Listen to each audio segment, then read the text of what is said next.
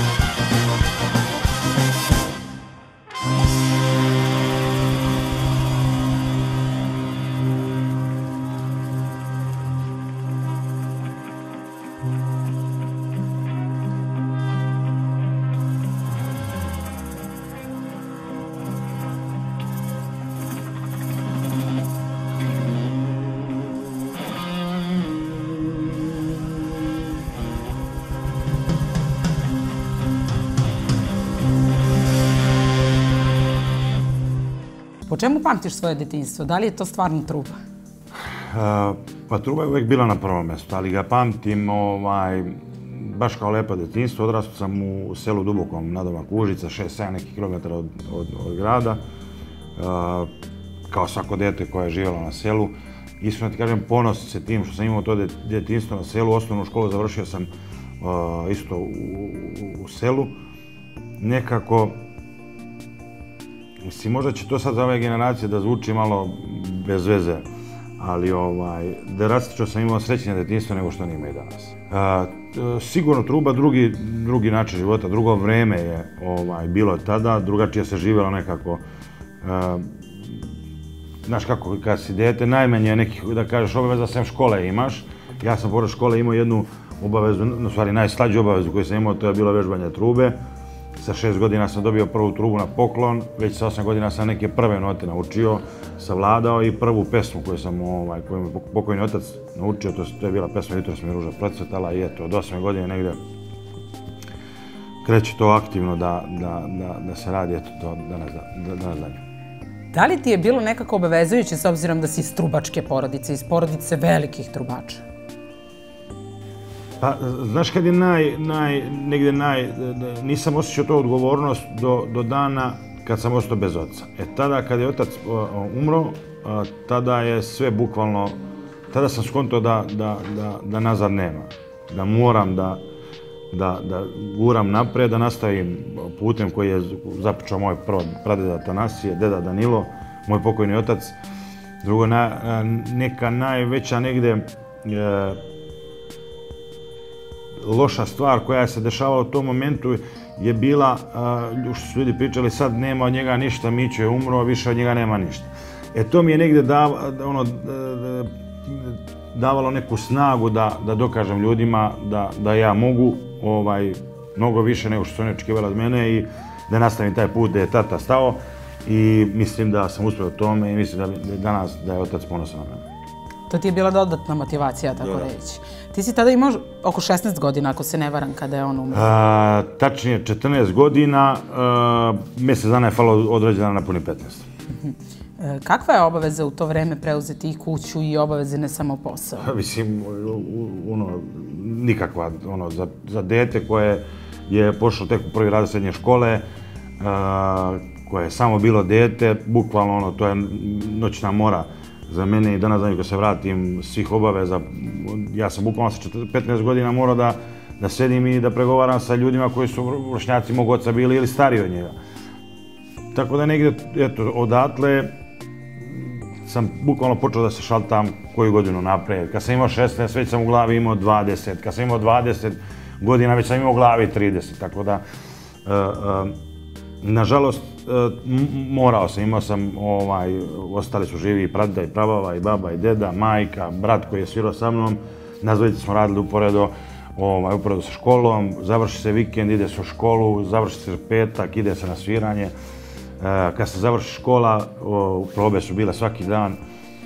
Bukvalno nismo imali slobodno ni jedan moment da se odvoji za neko društvo, niti za futbal, niti za bilo kakvu aktivnost što bi neka, da kažeš, normalno dete trebalo djelati. Imao si verovatno, pretpostavljam, podršku brata. Jesam međutim, i to veliko. Međutim, ono što je zanimljivo, sada si rekao uh, da si ti morao da pregovaraš sa ljudima koji su bili vršnjaci tvog oca. Tu je verovatno bilo ljudi koji su sarađivali sa njim. E, da, da, da. Ljudi koje, pokojno otac, ono, prijatelji koje je sticao ceo život, s kojima je sarađivo, što sa estrade, što ljudi iz posla sa kojima je radio, svira za njih. Kako si se osjećao? Da li si imao u tim ljudima nekad i podršku, a nekad i razočarenje u tom periodu? Jer ti si tada veoma mlad, ne znaš da li ti neko misli zlo, da li ti misli dobro. Kako si se osjećao? Znaš kako, ja sam imam 34 godine, pa se danas za nju čovjek se razočarava u neke ljude i koje, neke koje prihvatiš srcu i misliš da su ti prijatelji, pa te posle par godina s nekim stvarima tako razočaraju i ti skontaš stvari da oni nisu uopšte bili tu uh, kao tvoji iskreni prijatelji, su bili, na primjer, eto, zato što si ti možda neko ime, da kažem uslovno rečeno, ili što si popularan, ili što vole da se druže s tako s nekim ljudima. Ali pogotovo tada kao dete, tad me nekako, sad sam već ogulo na, na, na te stvari, više povređuje me, ali ne toliko kao, kao tada. Da sam nekih prijatelja, očevih prijatelja tada već okrenulo leđa i od, i od mene i od cele porodice. I, uh, ali nekako izgurao sam, izborio sam se, ostali su oni pravi prijatelji koji su stvarno bili iskreni prijatelji. ostali su tu i, i tada i danas su danas, danas danju sa mnom.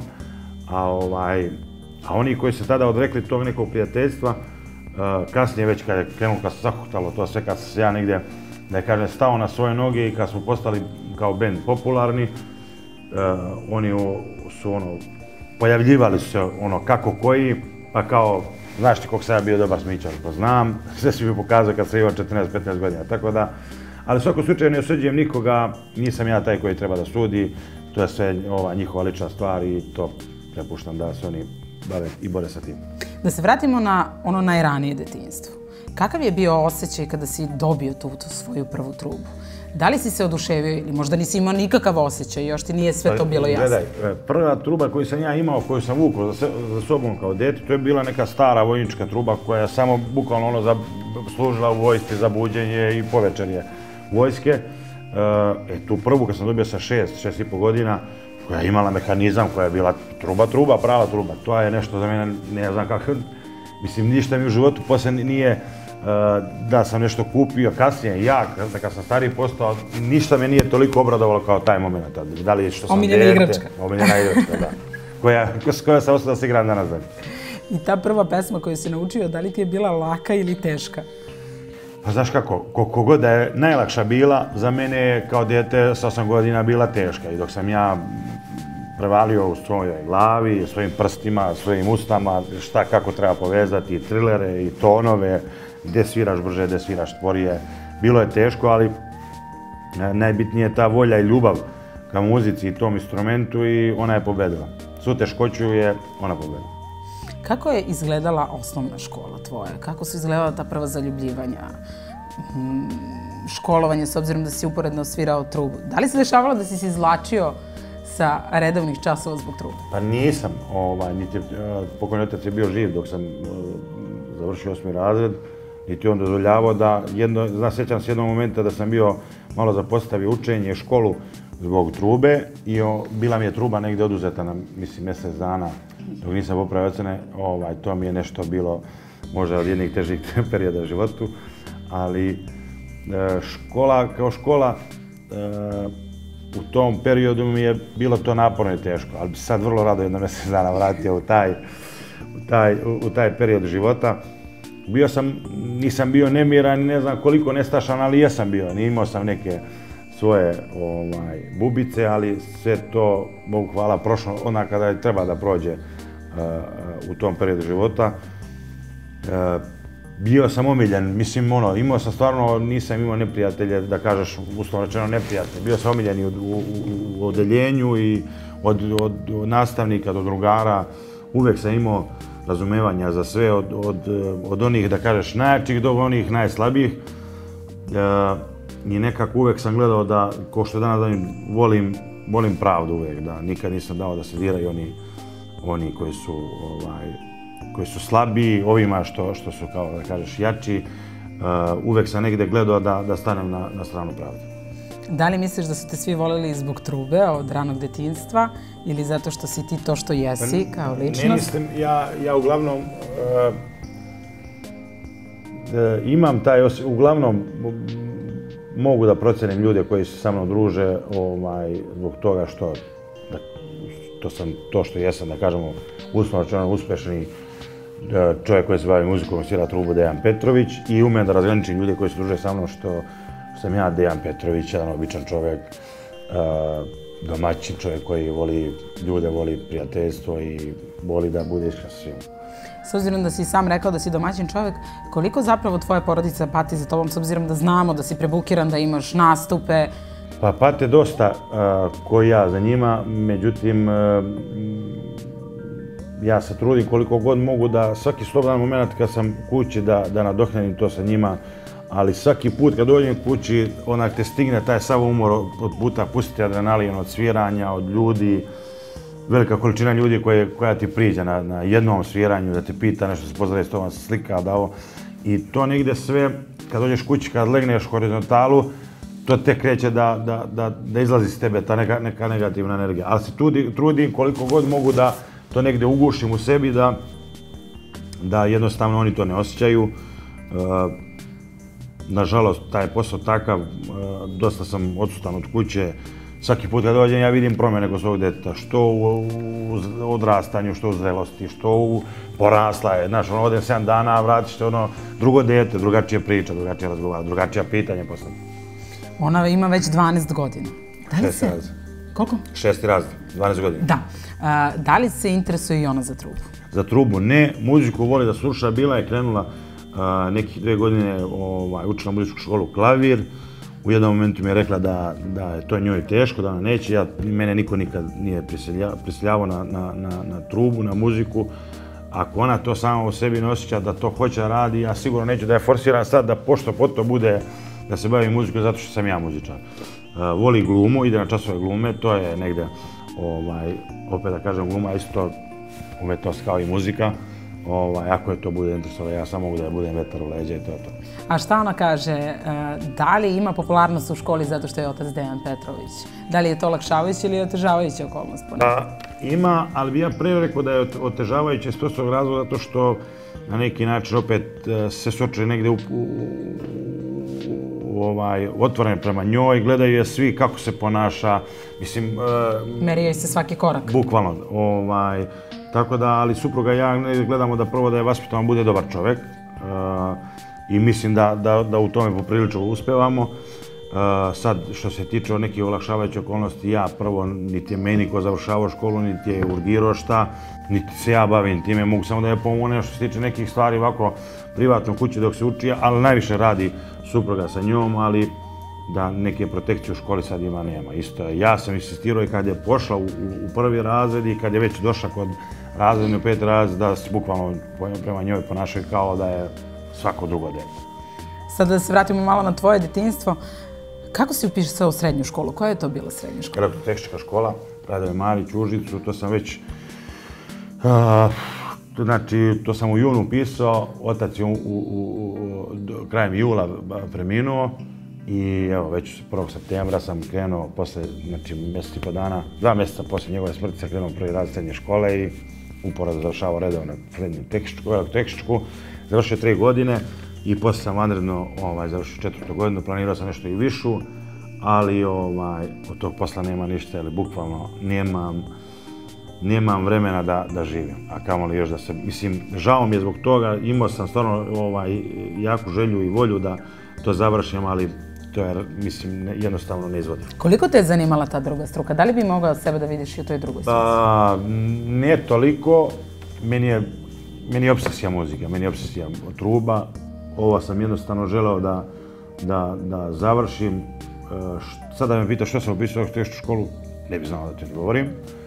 Ali eto, već kad sam ušao u to, krenuo sam i guro do kraja, želeo sam da završim višu, na, eto, čisto zbog sebe, a neki zbog svog hira da imam, ali, kao što sam ti rekao, neizvodljivo je. Kako je izgledalo tvoje prvo zaljubivanje? Jo, sad, pa mislim da je to bila neka slava kod neke familije i da je to bila, mislim, to je možda bilo sa 12-13 godina, ovaj, ali mislim, ko svako zaljubljen, kod svih nas, to su ono prve te neke simpatije, ovaj, ja sećam da sam ja, posle, o, tada nije bilo ne mobilni telefonička, pa sam ja posle po imeniku tražio kako da nađem njen broj, i, ali od tog posla više nije bilo ništa. Onda smo čekali sljedeću godinu za slavu, na kojoj se ona nije pojavila i onda me je pustila posle. A kako ste upoznali svoju ženu? A, da, upoznao sam je na, a, kod nje na slavi, pošto sam došao sa jednim mojim drugom koji se ovaj, družio sa njom. Došli smo zajedno na slavu kod nje i eto već tada su krenule neke simpatije. Zabavali su se godinu dana i posle od 2006. do 2007. 2007. U dan razlike je bilo, samo je bila svadba od momenta kad smo počeli hm, Da li si još tada navikla, tako reći, na vaš posao i znala da ako se uda pa za vas, navikla kako se nije sigurno, ovaj, ali je znala šta je očekuje. Uh, ona je bukvalno meni najveća podrška što se tiče svega i mog života i mog posla. Uh, I svjesna je svega da, da, da ovaj posao što se sve više postaješ popularniji, što više, što bolji, uh, više vremena oduzima od nekih privatnih i normalnih stvari za normalan život. E, šta možeš da kažeš? Ko su tvoji najbolji prijatelji? Moja žena, moje dete i moja majka. A osim porodice? Da li su to baš drugovi iz benda ili neko drugi? Pa, gledaj, ja drugove iz benda uh, uopšte ne gledam kao drugove. Ja njih gledam bukvalno kao porodicu. Jeli, uh, ako ti kažem da je Acika pevač koji peva s nama najmlađi sa stažom, a mislim mlađi od mene 10 godina ima 25, 24 godine, počeo da peva kad je imao 17, njegovih, znači sada ima 25, da ovi ostali ljudi, ne znam, i ove godine su njih dvojica slavili 20 godina kako sviraju sa mnom. Prošle godine njih trojica 15 godina. To više nije, to se više ne gleda kao prijateljstvo i kao, kao drugarstvo. To je već, mislim, ja više vremena provodim sa njima nego sa svojom porodicom. I bukvalno, ono, neki puta, mislim da više znamo njima nego svojoj porodici. Da li to znači da im i prašaš neke greške i da se desi nekad i neka, neke svađe koje se brzo... Pazi, pra, praštam, ali volim da skrenem svaki put na, na, na greške koje se učine. Uh, jeli, da se te greške više ne bi ponavljale, da te greške koštaju, e, mislim, ne koštaju nas, ne znam koliko, ali nas koštaju nerviranja, ako neko pogreši u svirci, mi dajemo ceo život svoj da to zvuči onako kako treba da, treba da zvuči najbolje. Ulažemo dosta u nas što se tiče proba, rada. I tako da, da volim da skrenem pažnju na nešto ako neko greši. E, budu svađe, uglavnom neke raspravke, moja uvek mora biti zadnja. Mislim, ako skontam da, da sam pogrešio, uvek se izvinem i kažem da nisam bio pravu, ali uh, nekako drugačije svi gledamo na, na, na, na, na svet, na posao. Uh, ja se trudim da, da njihovo zadruženje tu bude, da budu na vreme, popeglani, uh, doterani i da dođu da rade svoj posao maksimalno ono što najbolje rade, da rade to najbolje, da se vrate kući sa no, ovaj, novčanim sredstvima u džepu, svoje familiji, bezbedno se vrate, ljudi imaju koji ih voze i ostalo do njih da nije ništa više, ne da razmišljaju svem o tome da osviraju ono što treba. Šta smatraš svojim najvećim neuspehom u životu, s obzirom da svi mi imamo uspone i padove, koliko god bili najbolji? Pazi, mislim, bilo je dosta. Sad, ne znam, uh, mislim, pitaš me privatno ili poslovno? Pa možemo reći i privatno i poslovno. Znači da kažemo s jedne strane privatno, s druge strane poslovno. Pa ne, a, mogu da kažem da je, da što se tiče privatno nekako najveći taj neuspeh što nikako nekako ne opet se vraćam na istu temu to uh, vreme koje želiš da provedeš sa porodicom. Želim da provedem s porodicom, a ne mogu da ga ostvarim. Drugo, milion puta nisu, meni posao nije da dođem da osviram i kad se završi svirka da se pokupiš da odeš. Ovaj posao eh, vuče i još druge stvari, da ti moraš kad završiš da sedneš ljudima, kad sviraš leto, kad je letnja turneja, to su gradovi koji god grada odeš, Bogu hvala, imam prijatelja, meni je to isto veliko bogatstvo, gdje god ode neko te čeka s nekim, znači sedneš pre koncert. Kad završiš koncert mora sedneš sa predsjednik opštine, direktorom turističkoj organizacije, sa svojim prijateljima ti to moraš da ispoštuješ. To gubiš vreme. Ono. Mislim, ne, ne daleko od toga da gubiš vreme. Uh, e, vreme provedeno sa prijateljima nije gubljenje vremena, ali gubiš e, uh, vreme za svoju porodicu kući. I onak, moj orksar dođe, lupam u tri, ono će se vratiti ja se vratim ujutru u sedam. I taj dan, bukvalno možda samo da me baciš. Ja taj dan ležim, ne mogu da se pomaknem nigde. Onak, ustanem ujutru, Jovana koja je jedva čekala dođe, srećna, ajde da se igram, ajmo ovdje, ajmo da ja bukvalno nemam, nemam volje za taj dan za životom, ali ne znam, o, trudimo se da, da, da, da, da se napravi neki uspeh, ili ja ne planiram da se bavim ceo život ovim poslom.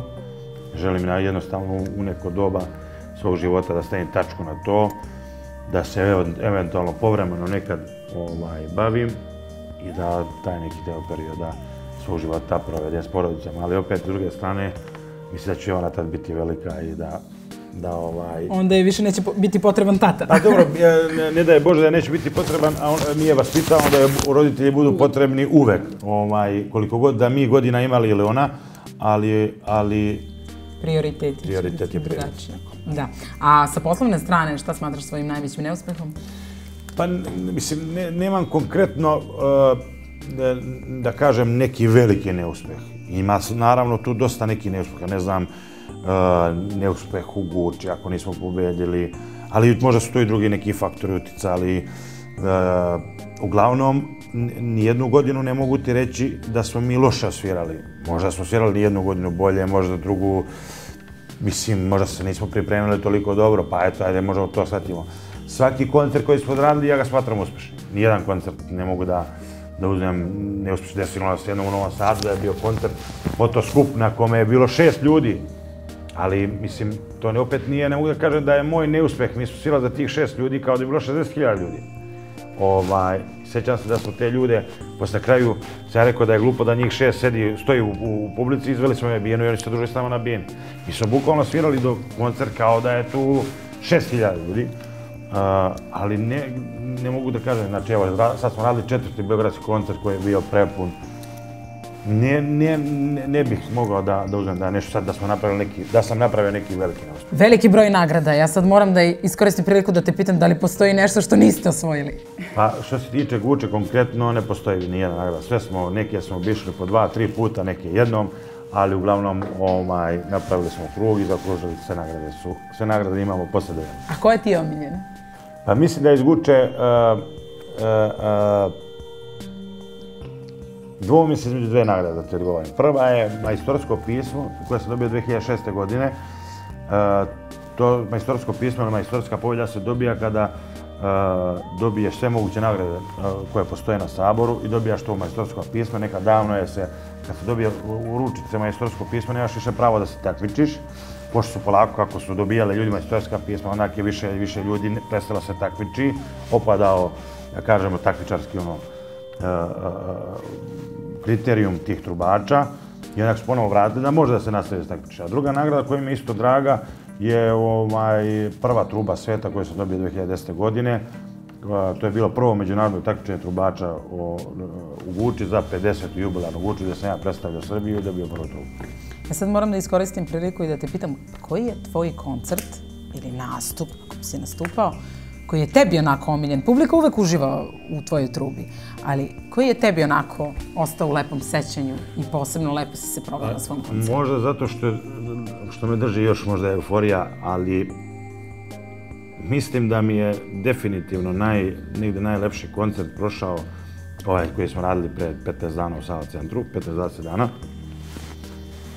Možda zato što sam ga baš posvetio pokojnom ocu, svoje tradiciji, e, imao sam fenomenalne goste to veče. Radili smo veče narodne muzike. Znači nismo radili ovo što mi radimo i obrade našu autorsku muziku, nego isključivo veče narodne muzike, gdje su nam bili gosti.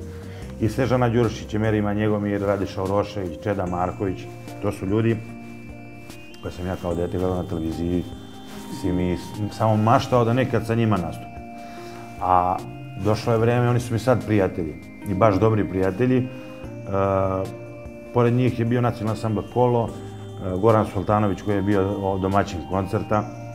I možda ta najmoćnija stvar koja se desila to večer na koncertu je orkestar od pokojnog oca koji sam skupio posle 19 godina, jer 19 godina kako tata umro, oni su se rasformirali iste godine. I skupio sam ponovo tu istu ekipu koja je svirala sa pokojnim ocem koji su se pojavili to večer. To je bio onako jako emotivan neki trenutak i za mene i za publiku. I za, njih, I za njih isto. O, svirali su jednu numeru o sami, za drugu smo se mi pojavili. Kad smo zajedno počeli da sviramo na, ovaj, na video, bi se pojavila velika slika mog pokojnog oca i to je onako baš veliko ovaj, ovacije izazvalo kod publike, velike emocije, dosta ljudi, pola sava centra je plakalo. E, ja sam u momentu trudio da, da, da ne vidim čalovu sliku dok ne završamo svirku i prošao sam bez suza. Izdržao sam, ne znam kako, ali sam izdržao, ali mislim da da najviše me ljudi zvalo i, i da pohvali nastup, jer to bila sad. Mhm. Koji savjeta se sećaš od oca? Šta je to što te ne, nekako stalno vodi? Kad Znaš kako, prvi, prvi konkretan razgovor i ozbiljan razgovor kad sam imali, ja sam možda 9 godina, 10, je bilo nešto sam ja, ne, trebao sam da navežbam ne, neki deo, neko kolo, ne znam ja šta je već bilo. Ja to nisam navežbao onako kako treba se navežba, nego eto, nešto polovično. I on mi je tada rekao, moraš da shvatiš jednu stvar. ti ćeš se baviti ovim poslom onako kako treba da se baviš, i nećeš samotiti ni mene, ni tvoje pretke. E, to mi je tada bukvalno ostalo ovaj, ono, zarezano u, u, u, u glavi, u, u mozgu, da, da, da stvarno s ovim, s ovim stvarima nema zezanja, s ovim poslom nema zezanja. Sad ću ja se napraviti pametan, pametan i pokvariti zato što sam neodgovaran ili neozbiljan. Sve, ne, o, sve to nešto što su tri generacije stvarale i sticale. I ovaj, se mogu to objasniti, to su sekundi desilo meni ono, prelom u glavi koji sam shvatio da je tu više nema razgovora da se nešto treba se navežba ili ne treba se navežba, naravno da treba se navežba. I to mi je prvi neki, nakon njegov savjet bio, mislim, dosta je tu bilo nekih savjeta, što sviranju, što održanju trube, što ne znam, znaš ono. Ali to je nešto konkretno prvo što je bilo i što mi je ostalo urezano u sećanju. Šta ti je najveći kompliment što si u životu dobio? Da sam najbolji tata. Majke mi, mislim, uh, uh, sada me pitaš, ja bi sve ovo, svoju karijeru, sve ovo, za, ako treba, za svoje porodice, ostavio, bukvalno, evo, preki novom momentu. A šta smatraš svojim najvećim uspehom?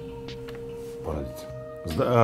Zdrava, zdrava porodica, ali kad kažem zdrava, mislim da je zdrava, u svakom slučaju te reči, zdrava, psihički, psihički zdrava, fizički, eto, bukvalno tako. Došao si u period kada i ti možeš nekom da deliš savete. Šta je to što bi rekao kao savet omladini i današnjim trubačima? Jo, ne znam sad šta bi ti rekao, to je, to je pitanje na koje treba da pričamo 3-4 sata. Ono što bi ja rekao možda sadašnjoj omladini, oni bi rekli da sam e, glup, zaostao i da sam seljački tip. Ne bi ja tu mnogo da savjetim, ima svako svoje roditelje. E, mislim da su neke, neke stvari koje su nekad bile normalne, sad su postale nenormalne, ali opet ja ću da potenciram na njima. To su poštovanje, iskrenost i ljubav. Kako u porodici, tako i prema prijateljima. To su stvari koje smo bukvalno izgubili. Na svaki metar više mi se, ako mogu da kažem u emisiji, povraća više od toga. Na svaki metar vidim ljude koji se jednostavno druže iskoristi, koji, koji se samo nešto guraju, laktaju zbog nekog uspeha. Ja bi izgazio preko tebe, bukvalno mrtve, da, da bi ja nešto uspeo. Mislim, ja ne bi to radio, ali takvi su ljudi. Uh, mislim da gubimo, ne, generalno, gubimo smisao čoveka, gubimo smisao porodice. Kako misliš da to može da se povrati? Da ne, ja ne mogu da to promeni, sigurno ja kao jedinac. Ne znam, promenilo je to u svetu. Znaš, mi uvijek gledamo, kaže, sve uzmemo američke stvari. Ne uzmemo, mi, mi uvijek gledamo, uzmemo američke, naj, lupam, tako ka, kažu, najgore stvari uzmemo od Amerike, ali ne gledamo neke dobre stvari. Generalno, ono, stanje su u svijetu promenilo. Promenila su muzika, sasvim druga muzika, mislim, ja sad da pustiš nekome od starih ljudi ovo što se sad sluša, svi bi rekli da, da nisi normalno ako slušaš to. Ali ja ne mogu da sudim ja neko, nek svako sluša ono što hoće da sluša, ja se trudim da, da svoje dete i svoju porodicu držim negde na, da kažem, nekom zdravo, zdravoj osnovi, zdravom nekom okupu. E, mislim da bi nekako trebali više da budemo jedni prema drugima, ne znam kako, otvoreni, nekako da, da, da se pokaže ta ljubav. Izgubili smo, mislim da smo izgubili nekako to ono što kao mi kao pravoslavci imamo u sebi, tu neku ljubav prema prijatelju, prema čoveku. Znaš, sad tako vidiš nekoga da na ulici da je loše obučen, ti ćeš reći za njega vidi ovaj kakav je, znaš, nasmejaćeš, mjesto da priđeš da mu pomogneš. I ovo sa situaciju skoro da, da tu u Beogradu žena pokuša pola sata da pređe ulicu koja ne može da ide i pored nje prošlo je, mislim, sto ljudi koji su prošli, svako je u svom ludilu, što u poslu, što u nekim obvezama, e, da niko ženi nije pomogao. Ja sam izašao iz restorana, uhvatio ženu pomogao, mislim, a žena se zahvaljuje toliko, prvo, e, to su neke osnovne stvari, normalne stvari za normalan ovaj svijet, ali tako sad su to postale nenormalne stvari. stvari. Neko da me je video, rekao bi Gaja Petrovića kako je likno ide, pomaže babi da pređe ulicu. Ali, Ili, na primjer, radi na svoje popularnosti. Tako je, eto, razum, et, mislim, znaš, to su te neke stvari. Ja nikad, uh, ja svoju, da kažem, svoju popularnost, svoju slavu, nikad nisam ono, sticao na, na nekim stvarima koje su po meni nenormalne. Sad smo pred ovaj koncert imali ovaj, od ljudi koji su, koji su pomagali tu ovaj, organizacije koncerta, imali smo par nekih kao konsultacije gdje su oni predlagali da mi napravimo neki skandal da bi mi kao možda prodali još jedan Sava centar. Ja nikad skandal u životu nisam pravio da bi postao popularan ili prodao ovaj karte za koncert. Oni koji će doći da kupe karte zbog mog nekog skandala, tim ja koncertu i ne treba. Da li smatraš privilegijom to što si odrastao u manjem gradu, u manjem mjestu? Sto posto, ja i dalje živim u Užicu. Uh, imamo stan tu, zbog mojih potreba dolazim, sviram, kad god vikend, kad su Branka i Jovana Slobodne. Dolazimo zajedno i mislim da mi je dosta lakše da, da mi dete odraste u manjoj sredini nego ovdje u Beogradu. Kako na tvoj uspeh gledaju stariji trubači? Da li im se sviđa taj tvoj novi zvuk? Pa, mogu ti reći da većini ne, iskreno, o, ali ja nikad nisam volio da komentarišem niči posao, ničiju svirku. Mogu da kažem samo da mi se nešto sviđa, ali mi se ne sviđa.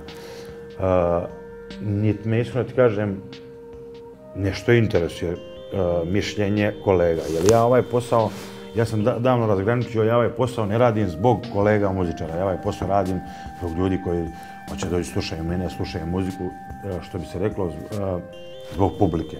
Jer niko od kolega neće doći kupi karte da dođe na moj koncert ili bilo čiji, nego će doći, da kažem, uslovno rečeno, običan svet ljudi koji se ne bave muzikom.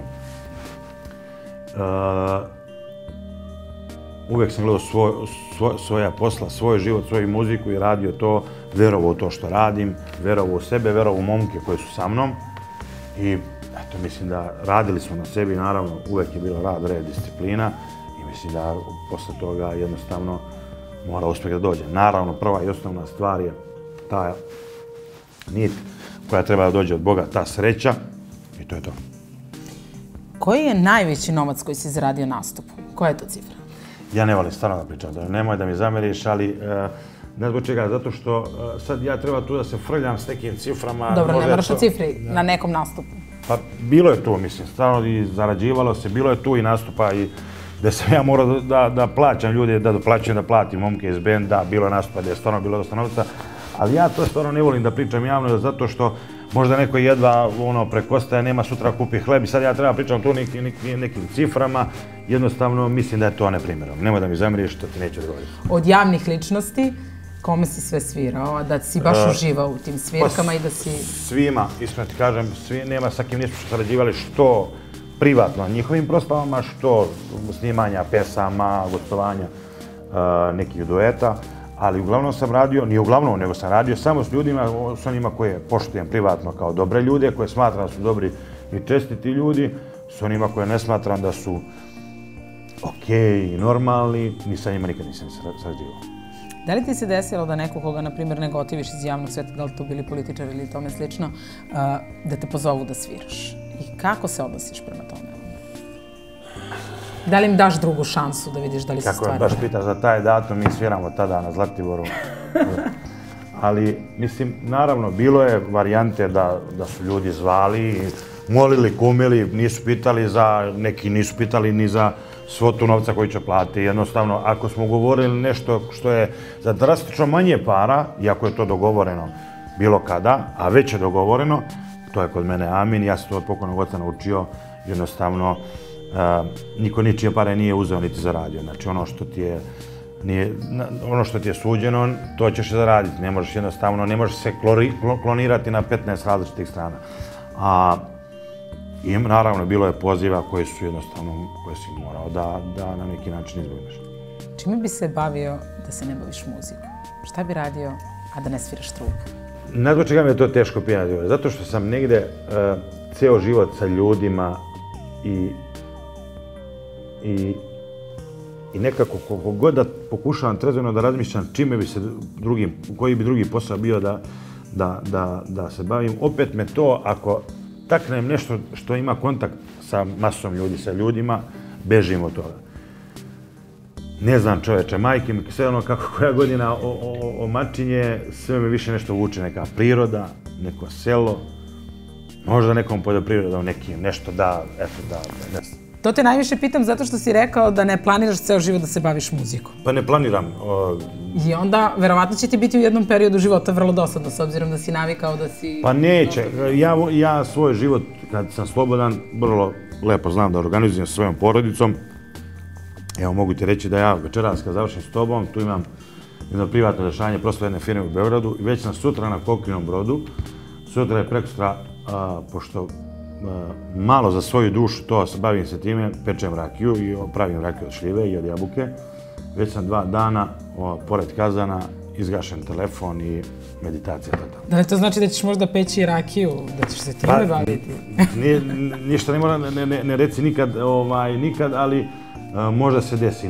Dosta, imao sam par nekih savjeta od prijatelja da bi trebao možda punim tu rakiju, ali kad vidim da iz dana u dan sad, sad je pomodarstvo da svi prave neku svoju rakiju, ja ne volim da trčim ono za, za kad vidim da svi nešto trče, kad ne, nečemu ne volim da to radim, ali možda da se pakuje za samo redke prilike, redke prijatelje, da.